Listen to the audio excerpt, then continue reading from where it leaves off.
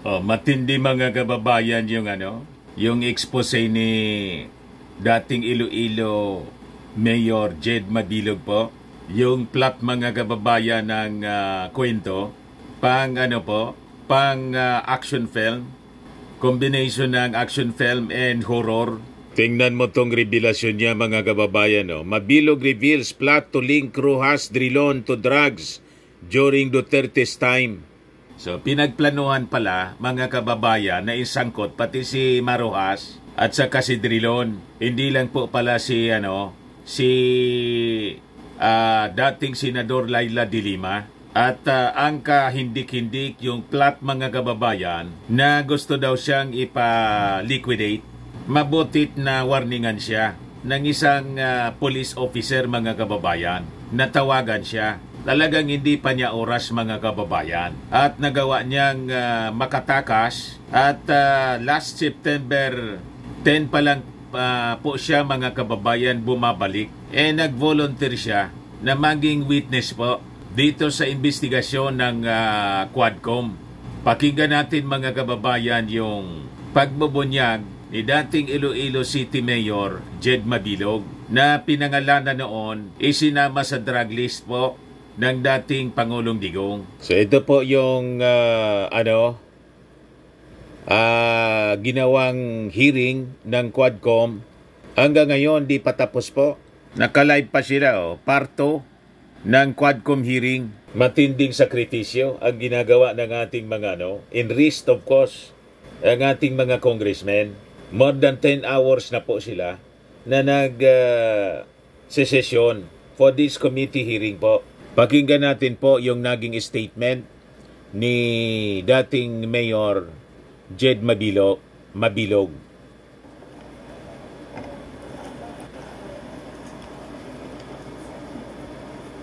Mga iginagalang na mga miyembro ng Kamara de Representan- Representantes, Your Honors, good morning.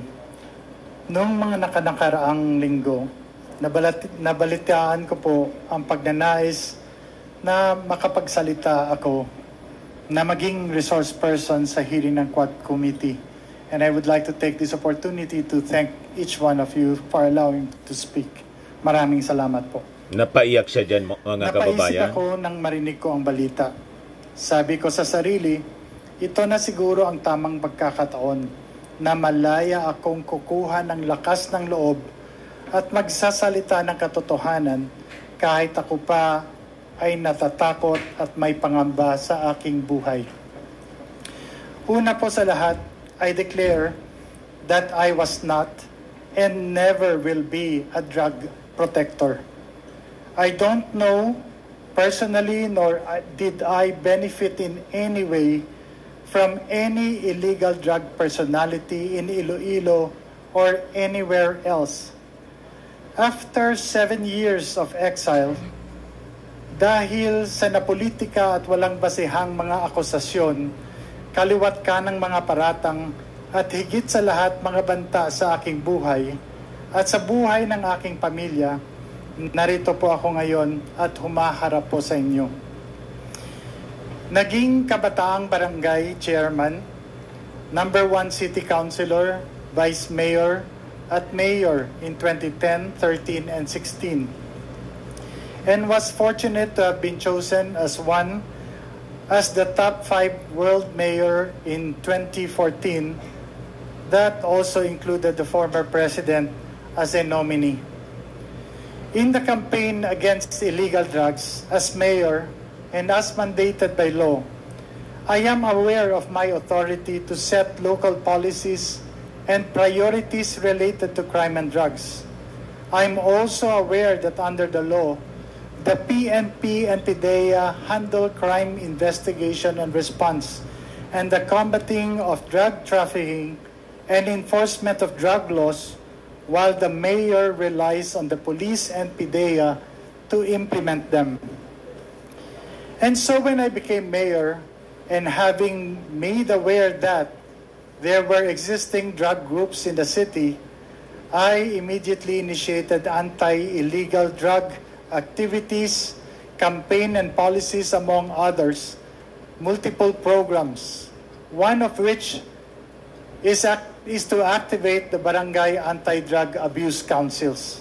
In 2014 po, according to PIDEA, Iloilo City was the first in the country to have 100% of its BADAC activated. In the six years that I have been mayor of Iloilo City, Iloilo City consistently received national recognitions from PIDEA and the PNP in the years 2014, 2015, 2016, and even in 2017 for the comprehensive programs including rehab, logistical support to the PNP and PIDEA in their drive against illegal drugs.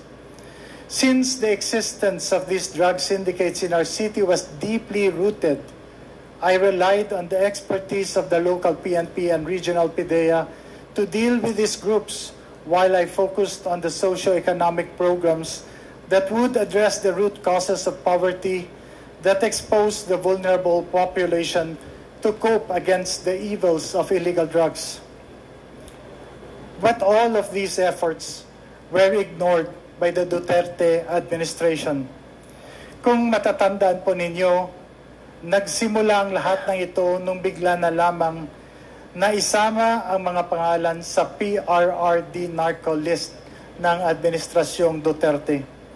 Isang listahan naglalaman ng mga pangalan ng mga kilalang public official na di umano ay sangkot sa illegal na droga, mga paratang na walang basihan, at kahit kailan ay hindi naman napatunayan. As a matter of fact, until today, there are no drug-related cases that have been filed, especially in the legal courts, against me and my person. Pero kung inyong titingnang maigi, isinama ang pangalan ng kalaban sa politika sa isang validated list ng mga drug personalities sa kasunod na PRRD list. Sa kabila ng mga questionableng impormasyon, walang validation o confirmation man lang na ginawa kahit na anumang ahensya ng gobyerno sa Malacanang initiated list. Itong PRRD list, di umano, ay naging hit list. Sa isang public forum ng PIDEA noong 2018, mismo ang Regional Adjudication Committee o tinatawag na RAC ay nagsabi na wala yung pangalan ko sa kanilang listahan. While in the Iloilo City Anti-Drug Abuse Council meeting, then PIDEA 6 Regional Director Hil Pabilona at and Iloilo City Police Director Colonel Remus Canieso officially ang nagpatotoo na wala rin ang pangalan ko sa drug list. Ngunit, nanatili ang listahan sa kanilang mga record. Hanggang ngayon, lahat ng mga paratang at akusasyong ibinabato sa akin ay patuloy na sumisira sa aking reputasyon at pati na rin ang reputasyon ng minamahal kong Iloilo. Dahil sa seryosong banta sa aking buhay, napilitan po ako na hindi bumalik from an international speaking engagement in Japan at lisanin ng aking pamilya ang bayang buong pagsisikap naming itinaguyod ng may dangal. PRRD even assigned Lieutenant Colonel Espenido to Iloilo and announced without a threat, with a threat, mabubuhi pa kaya siya? Ibig sabihin in Tagalog, mabubuhay pa kaya siya? Referring to me. Pinalad po ako na meron akong speaking engagement sa isang international conference sa Japan, kaya nakaalis ako ng bansa. Paulit-ulit ang pagbabanta ni Presidente Duterte sa media, harap-harapang sinasabi, ipapapatay daw ako. So when we government killed him, we started to dig and we found the bones of the policeman still in their uniform. And so we had to take him out. I said, go and uh, take him out. The mayor of uh, Iloilo City, I identified him. This is broadcast, uh, broadcast. I said, you're next. You're next. Sana ang mayor ninyo dito. Sana yung pinalitan mo, mayor. Saan ba si mayor? Hanapin ko sa kanila, balik ka dito. Ano, patayin talaga kita. Julius Ronald Pacificador, Amtek Antique, Jed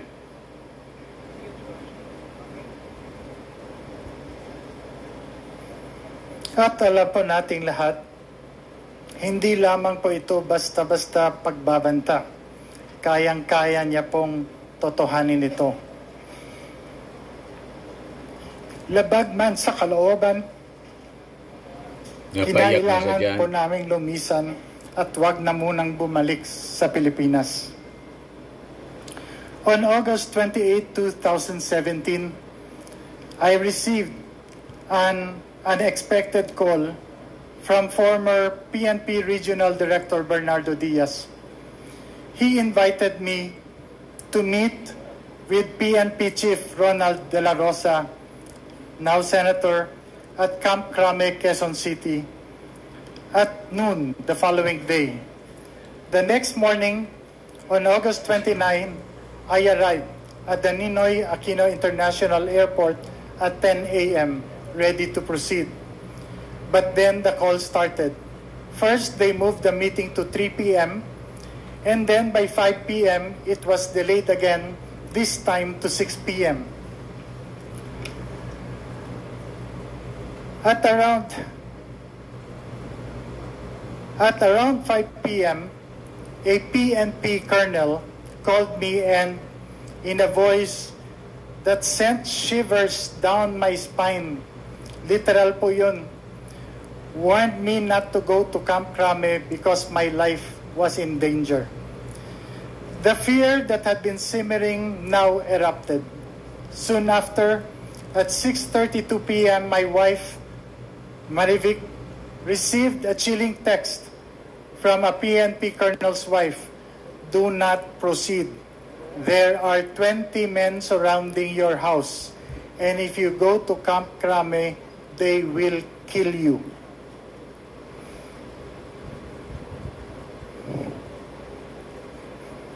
The terror was paralyzing.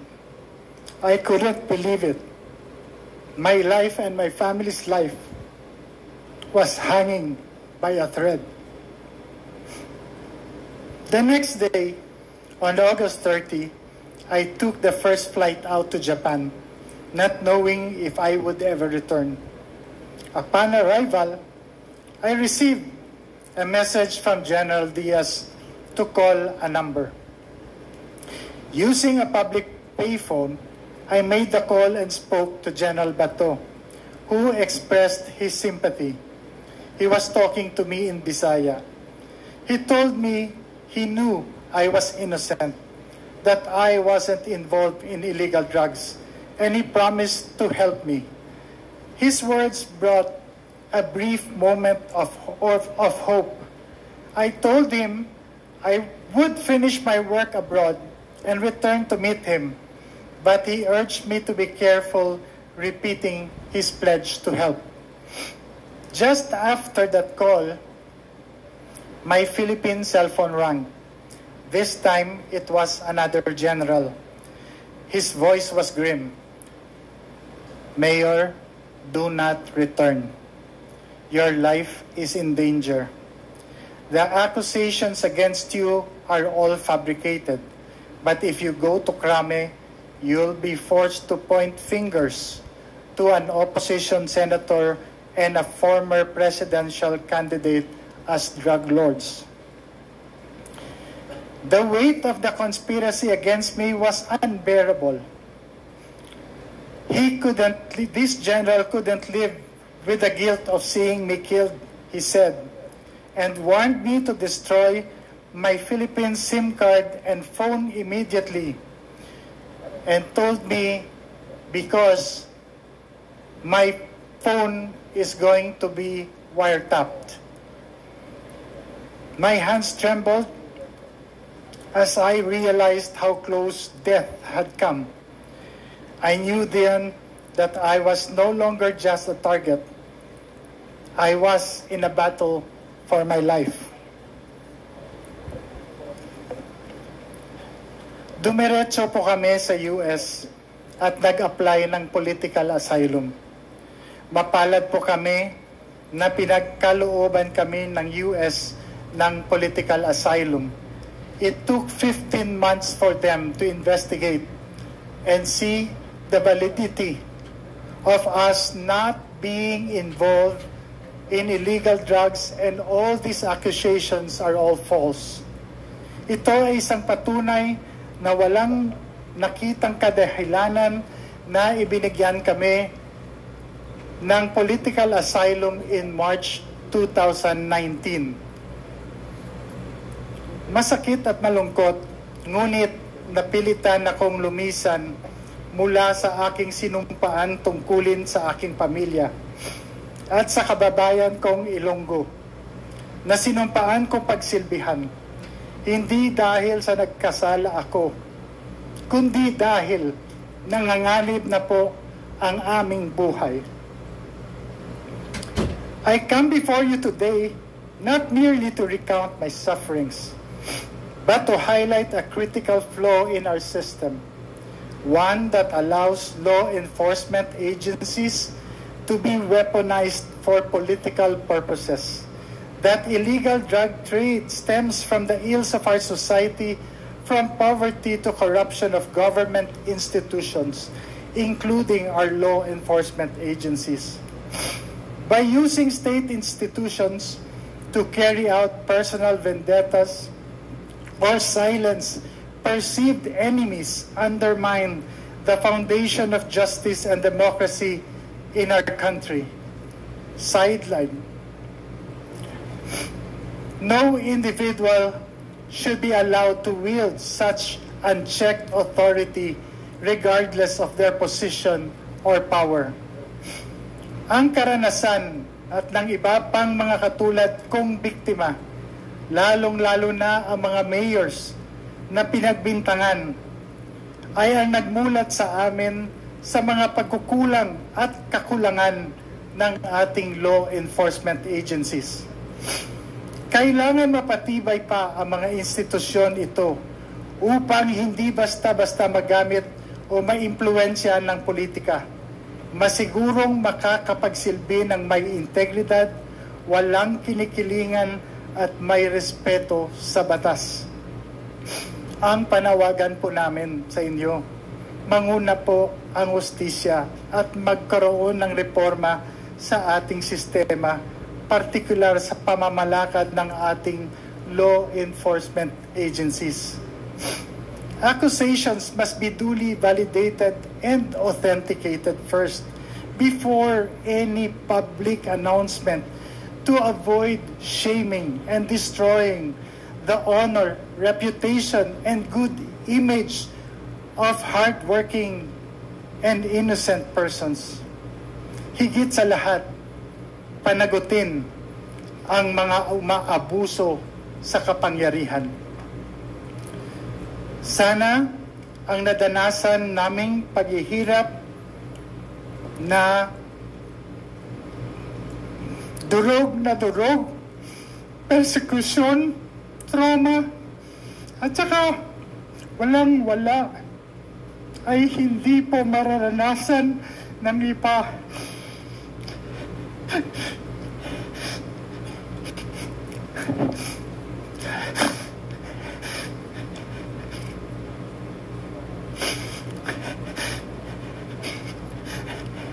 At mananaig ang katotohanan at hindi ang pamumulitika o personal na interes ng ilan.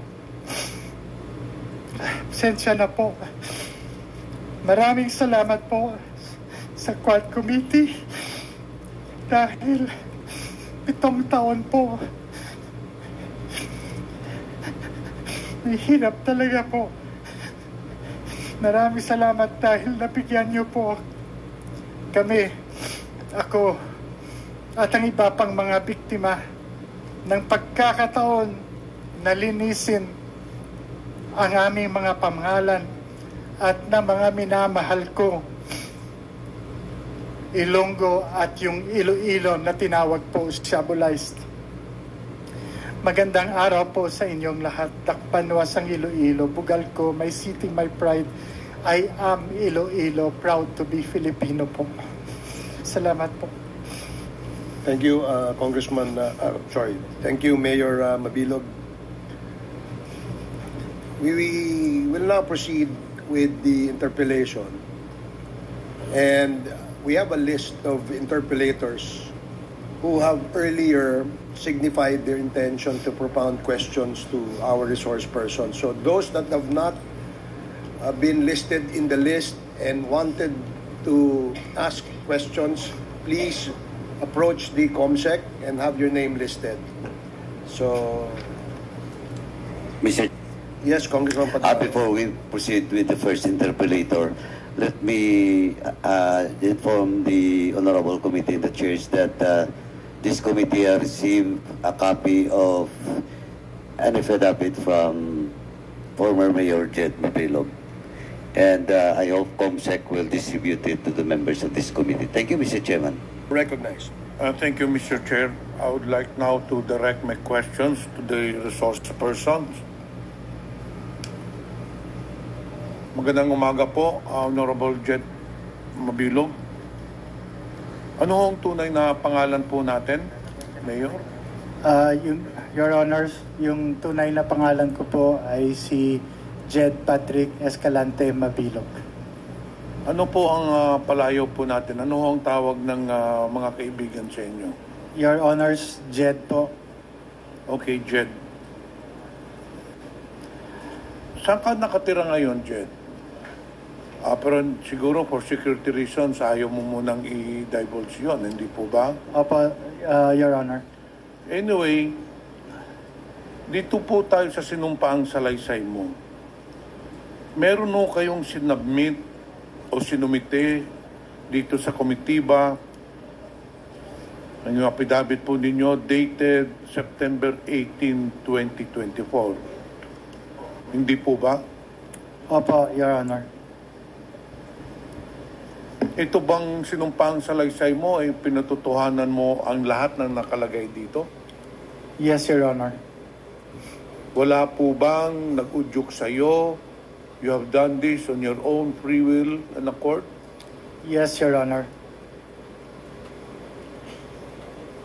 So kung mamarapatin po ninyo, isa-isahin ho natin itong uh, sinumpaang salaysay po ninyo. Sa paragraph 1 po, eh, pinakita ho ninyo dito na medyo matagal na po kayo sa politika. Pwede pang isalaysay ninyo sa amin paano kayo napasok sa politika? Kailan ho kayo napasok sa politika? Nung dati pa, sir, uh, po, Your Honor, I was uh, chairman of the Kabataang Barangay. And then, ito po ang umudyok Anong taon po yun, Mr. Chair? in, uh, Your Honor, in uh, 2000, oh, sorry, 1984 until 1986, Your Honor. Ilan taon pa po kayo noon? Uh, Kabataang Barangay, Your Honor, hanggang uh, 18 years old po. So batang-bata pa po kayo. Anong sunod ho ninyong posisyon sa politika? Uh, naging, uh, Your Honor, I was uh, city councilor in the year 2004. Ano din pong sumunod? In to, Your Honor, in 2007, I became the vice mayor of the city of Iloilo.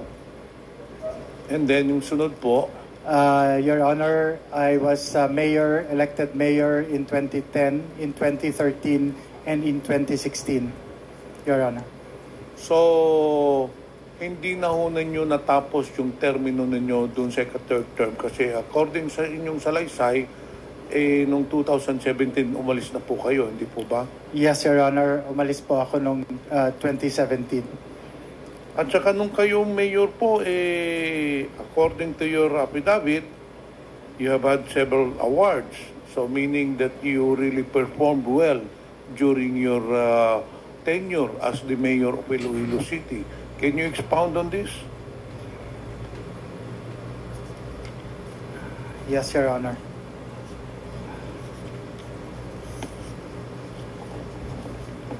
Uh, Your Honor,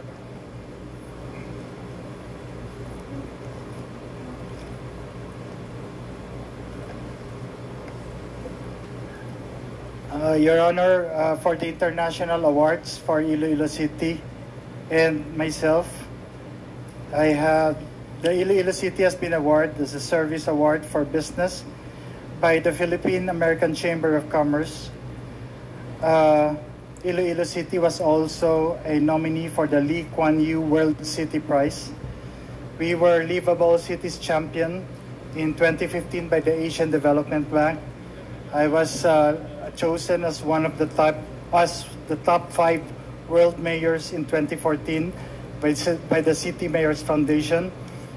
I was the city was also awarded uh, for bringing Dinagyang Festival to New York. We uh, Iloilo City was also awarded give, uh, given the gold award for the Iloilo River Development Project by the 2010 International Living Livable Communities in Chicago, USA. Uh, we, Iloilo City has the Silver Award for Iloilo River Development Initiatives, Silver Award for the Iloilo Dinagyang Festival in the 2011 Livcom Awards, uh, a second in the Thies River Prize Awards in Brisbane, Australia, and was shortlisted as top 77 in the 2012 New Seven Wonder Cities of the World. Those are the international awards, Your Honor. For the national awards, we have 33 uh, awards, national awards, and among which are the uh, being recognized by PIDEA for our illegal drugs, uh, anti-illegal illegal drugs campaign, Your Honor, for the years 2014, 2015, 2016, and 2017, uh, Your Honor. Uh, among others, Your Honor, would you like me to read the 33? No, I think Yes, uh, this, that this is enough. Yes, Mr. Honor. Chair, the fact that uh, the statement of uh, uh, Jed Mabilog has proved that he was indeed a per, uh, performing mayor. The fact that he has received international awards, local awards, nagpapatunay lang po na ginampanan ni former Mayor Jed Mabilog ang um, his role and uh, duties and uh, obligations as a mayor. So, so there is no question, Mr. Chair, based on the awards that he has uh, told us that, that he was indeed a good public servant. Ngayon, dito po tayo sa paragraph 3. Po, babasahin ko po at ka, kung pwede, paki-explain po sa amin. Despite my hard work and dedication to public service, I was unjustly and baselessly included in former President Duterte's so-called narco list. This inclusion was made without any evidence, investigation, or due process. Uh, Mr. Mabilog, Yes, Your sa Honor. tingin ho ninyo, bakit kayo nasali dun sa narco list? Thank you, Your Honor. Um, actually, Your Honors, I really made several attempts to see then President Duterte just to ask kung ano po talaga ang reason kung bakit po ako naisama sa lista. So, Your Honors, So nakausap mo pa si... hindi Ah. never ko po siya nakausap. Okay, so tuloy mo. So, um, nag, gumawa na lang po ako ng assumptions ko for what these reasons are. Kasi there are several instances, uh, Your Honor, that could probably lead to this. Number one, uh, Your Honor, is I am a relative or second cousin of then Senator Frank Drilon. Number two is nung nagkaroon ng rally sa Iloilo City nung during the campaign, namatay po yung ah, kanilang ah, they namata- nagkaroon sila po ng brownout. And uh, isinisi, isinisisi po sa uh, sa mayor sa akin po, Your Honor. Uh, third po, uh, there was uh, an attempt uh, before na gusto niya po makipagkita sa akin uh, before during the campaign. But unfortunately, I was not able to meet him because I was on official travel to Manila for a, for a big project, uh, which is the expansion of the uh, national highway. And uh, one of the big projects there was to bring down the black spaghetti wires along the highway. And so I have to meet the PLDT executives uh, to request them uh, to uh, finance the bringing down of their lines. Uh, kasi malaki po yung amount na mag involve Eh kanila naman po ang linya, so sila na po mag ano, nakaset na po yun to meet po the executives of PLDT. So I wasn't able to meet him, uh, sir.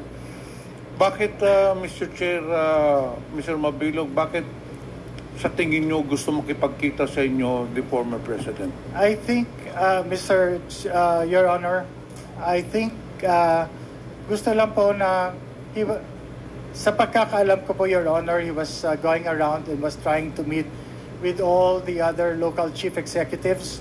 Ito Ah. ba ay uh, presidente na po siya o sa panahon pa ito ng eleksyon? Uh, sa panahon pa po ng election, Your Honor. Um, uh, yung isa pa po, uh, Your Honor, is that Iloilo City, during, wala pa po, hindi pa po siya presidente, Your Honor, Iloilo City was always compared to Davao City. Uh, I have here po uh, all the um, newspaper articles with me uh, that would show that even uh, Solicita, Solita Mons, uh, Monsod uh, compared uh, myself to then Mayor uh, Rodrigo Duterte.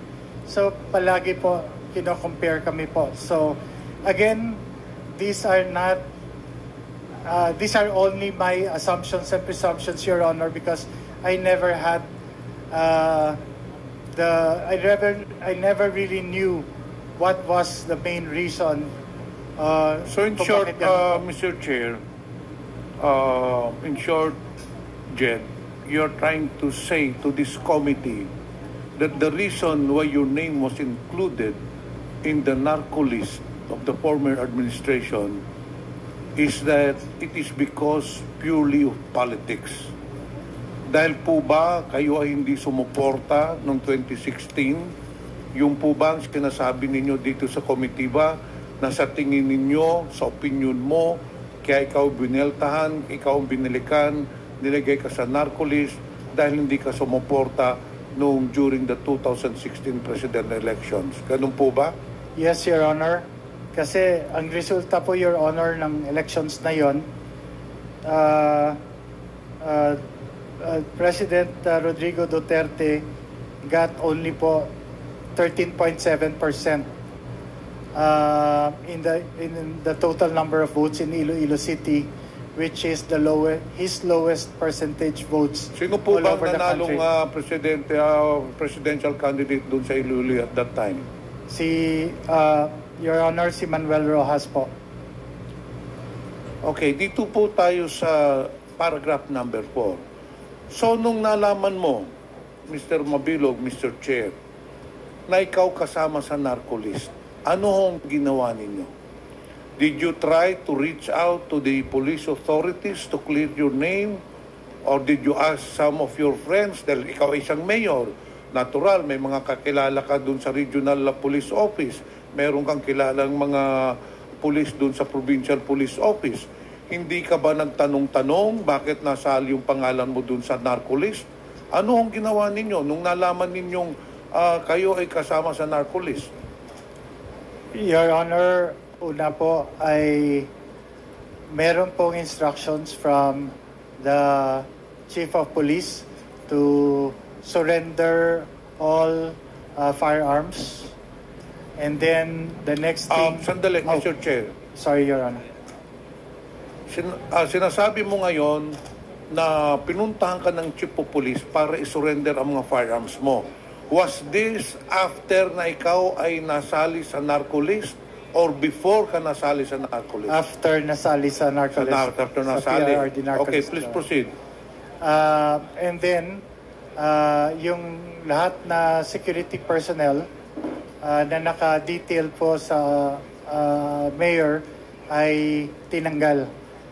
Uh, so, uh, yung ginawa ko, Your Honor, is pumunta sa uh, then PNP Regional Director uh, na bagong assign at saka kinausap ko po siya kung ano po ang dapat gagawin. And then I explained to him uh, all these uh, programs uh, that I have uh, undertaken and my uh, the city of Iloilo's uh, programs against uh, illegal drugs. Uh, pinapaliwanag ko po uh, na ito po yung mga programa namin and that is why I was really wondering kung bakit po ako na isama sa uh, lista po. Mr. Mabilog, hindi nyo pa po po tinanong yung regional director nung nagkita kayo, ah, director, bakit ako nasali dito? Hindi ka ba nagtanong sa kanya? Uh, uh, Your Honor, I, I think I did. Kasi yun po, dala-dala ko po ito. Ah, meron po akong compilation, compilation po, executive summary of the Iloilo City Anti-Illegal Drug Programs from 2010 to 2016. Ibinigyan ko po sila ng kopya kasi I always have this. This was a requirement by PIDEA that uh, we submit reports to them uh, annually. So, kumpleto po kami ng data uh, ng, da- ng data to at saka yun po sinabi ko uh, uh, sir bakit po kami bakit po ako nasali bakit po yung Iloilo ay most shabualized na ito rin po ito po yung mga programa po namin na So ginawa. anong sagot niya sa iyo, Mr. Chair? Anong sagot sa iyo nung sinabi nung tinanong mo siya, bakit nasali ako sa narco list when in fact I am the one uh, heading the anti-illegal uh, drug campaign in uh, Iloilo. So anong sagot ng regional director? Your Honor, sagot niya po, uh, na, yung nanggaling sa taas, yung lista, sa yung in-announce ng Presidente, wala pa pong lista nun, sir, na, you- uh, Your Honor, na So in short. Mr. Chair, yung binabasihan lang ng regional director doon sa listahan na sinabi ng former president. Doon lang po niya nakuha yung ah, pangalan ninyo without any validation. Ganun po ba? Yes, Your Honor. Dito po sa paragraph 6, Kindly wrap up, uh, Congressman Pimentel. mahaba-haba pa sana ito. Mr. Chair, can I have another 3 minutes na lang? Um, dito po sa... Dito na lang po tayo sa paragraph 7. Since the announcement of my inclusion in this list, I was subjected to repeated threats to my life. Former President Duterte publicly singled me out numerous times. Kailan ho nangyari ito? Yung pinakita ho ninyo? Yes, Your Honor. meron ka pang binagit dito na during in one forum, ito ba ay pinatotohanan mo? Ah, doon sa isang event na sinabi niya the mayor of Iloilo City I identified him. Ito po ay sa sinumpaang salaysay ninyo on October 25, 2017 during the commemorative session and concert program of the ASEAN Law Association. Tama po ba to? Sinabi po ni former President, the mayor of Iloilo City, I identified him. This was broadcasted. I said, you are next. You're next. Totoo po ba ito? Yes, Your Honor, as uh, have been shown in the video earlier po. So, for several times, nung nandito ka pa sa Pilipinas, you have been threatened uh, by the President, napapatayin ka, you're included in the narco list, and you deny this. Yes, Your Honor. I did deny it, Your Honor.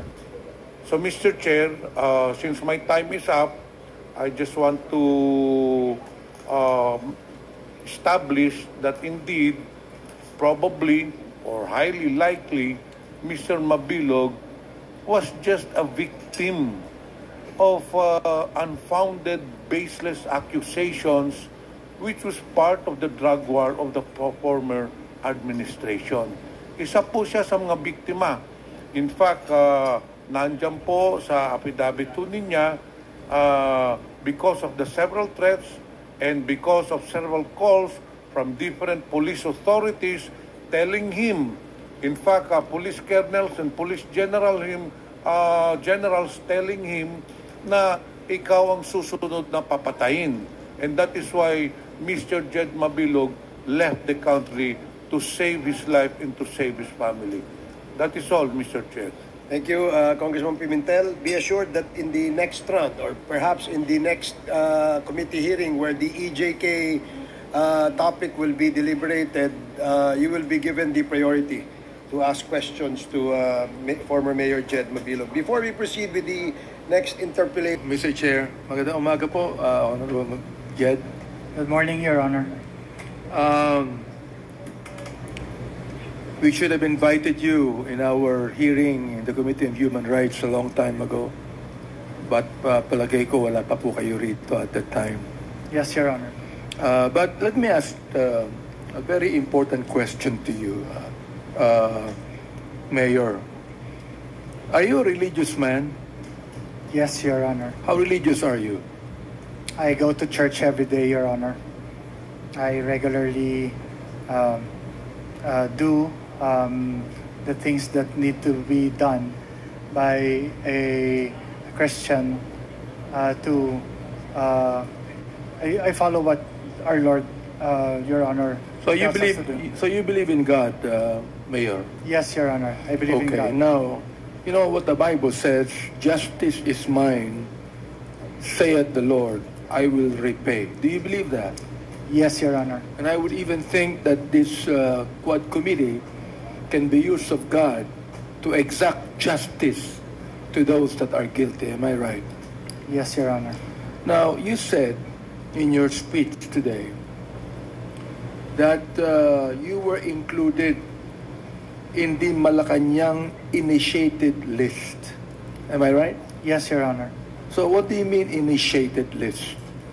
Your Honor, I received um, valid information that uh, in three lists, uh, my name was not, did not appear there, Your Honor, and my name only appeared when uh, it came from Malacanang. That PRRD list, eh, I consider Your Honor as the Malacanang uh, list. It means in the first three lists, your name was not included. Yes, Your Honor. Therefore, when you speak of the Malacanang initiated list, it means that your name is just placed in that list without even uh, investigating if you are ever guilty of that. Yes, Your Honor. As a matter of fact, as what I've said earlier, that till today I have uh, I have not I don't have any drug-related case that has been filed to me in any uh, court or for that or any office for that matter, Your Honor. Okay, so Mayor, you really do, do you believe that it was the former president that actually put you in that initiated list that you're talking about? Yes, Your Honor. I believe that, Your Honor.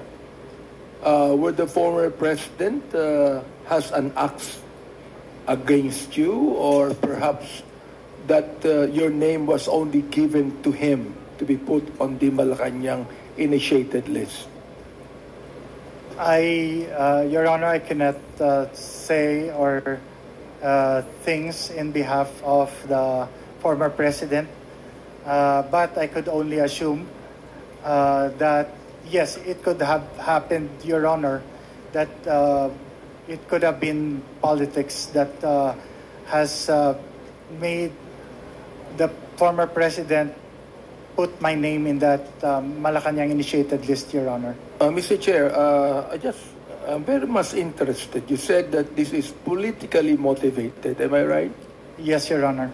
Therefore, there should be one in Iloilo that actually advised the president to put you in the Malacanang initiated list. Am I right? Could be, Your Honor. Would you want? Would you tell us the name of that person that put you in that list? Uh, Your Honor, in in politics, there's always a political political opposition, and you know, uh, uh, I cannot mention any name, Your Honor, because I might not be sure if that is the name of the person. But if ever it came locally, definitely it came from those who ran against me and lost, Your Honor, or those who were against me politically. Who those who ran against you, but that were actually uh, uh, uh, the people that are actually close to the former president. Am I right? I am not sure, uh, Your Honor, if they have a personal relationship with the former president. So I cannot uh, assume, uh, Your Honor. You, you made a statement in your affidavit, and that's number six, where you said, in a public forum held on August 8, 2017, PIDEA Regional Director Gil Pabilona and Iloilo City Police Director Senior Superintendent Remus Cañeso declared that my name was not on their drug list. What do you mean by that? Uh, in the, that particular public forum, Your Honor, uh, was the Iloilo City Anti-Drug Abuse Council, where the regional director of PIDEA sits as uh, co-chair, as well as the uh, Iloilo City Police uh, Chief PNP uh, also sits as a member or a co-chair.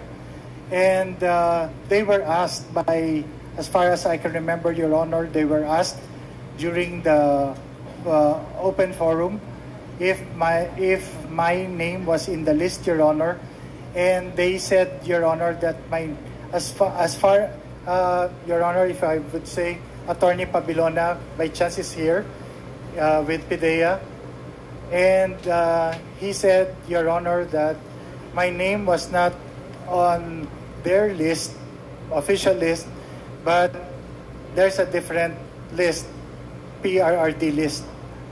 And he, So, he uh, cannot do anything about it. So therefore, uh, you would like to tell this committee that the lists that were shown to you were the first list that your name were, were not was not included. But Ye- then, as you have said, there is another list list where your name is included, Yes, Your Honor. And that is the Malacanang initiated list. and that is the Malacanang initiated list. Yes, Your Honor. So, what did the police director, senior superintendent Cañeso do? He, uh, the then city, they were under orders. Oh, sorry, Your Honor. Um, I believe that they were under orders and they cannot do anything. Because, as a matter of fact, by chance, uh, Your Honor, the regional director, then regional director General Gentiles, he um, gave Iloilo City and myself an award for the 2017 uh, anti-drug illegal campaign. Immediately after, Your Honor, he was relieved. And Ngayon, binunyag ni Mabilog po na gusto niya gusto daw ni dating Pangulong Digong isabit niya sa droga si Drilon saka si Marojas. Ayan po. In an emotional speech before the House Squad Committee, former Iloilo City Mayor Jed Patrick Mabilog Beard an, an alleged plot to link former Senators Marojas and uh, Franklin Drilon to illegal drugs during uh, Rodrigo Duterte's time as president. So, gan, gan, ganon katindi po mga kababayan yung naging revelasyon ni Mabilog. Yung mga nausog vloggers, tahimik. Tamimi dito mga kababayan sa mga naging expose sa Quad Committee. Siyempre, sigurado next time, yung mga vlogs nila, sasabihin nila na ginagamit din ito na Quad uh, Committee investigation sa politika to pin down the ano the former president. Ganon lang yan po. Tayo naman po, pakinggan muna natin po ang uh, mga kaindik-hindik na pagbubunyag ng mga witnesses para malaman po natin kung ano yung totoo.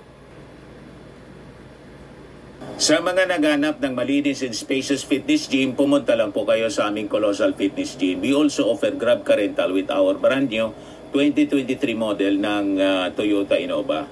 We also accept booking for those who are planning to travel via PAL, Cebu Pacific, and other airline companies, local and international, and bills payment for Meralco Bills, PLDT, Aleco Bills, etc. Ang Colossal Fitness Gym is located at 3rd floor Security Bank Building, Landco Business Park, Legazpi City, Albay. For inquiries, look for Chilon Maravillas. Contact number 0966-802-0949. Yan yung aming Innova. Lagi na pong matao sa amin. Pati mga foreigners po, tingnan ninyo. Mga British tourists sila. Ang lalaki ng katawan na, mga kababayan, nag-gym sa amin. Ito naman po, uh, uh, Indian National ito mga taga ano, mga European sila. Ito naman yung bago naming product na binibenta online, Eye Glow Serum. Uh, whitening po siya galing sa South Korea. Tingnan ninyo yung epekto sa aking anak na architect entrepreneur, Riz Maravillas. For inquiries, look for uh, Riz Maravillas on FB. Ito naman po, Firmax Framing and Lifting Cream. Pinapahid po ito sa mga pulses and affected area. Mainam po ito sa mga pains at paninigas na mga kaso-kasuan. Ito po, Automax Radiant Serum. Sa mukha naman yung application. Anti-aging po siya. You will look 10 years younger than your age. Sa mga cancer patients naman po, baka lang gusto ninyo itong itry. Nengxia Red Mix Fruit Drink. Hindi man po siya gamot, food supplement siya. Kaya lang, gawa siya mga kababayan sa goji berry. Yung goji berry may anti-cancer properties. Yung mga inquiries ninyo, dumiritso na lang kayo sa aming messages sa Facebook para masagot namin agad. Ayos po. Ako po si Dante Maravillas. Bye-bye. God bless.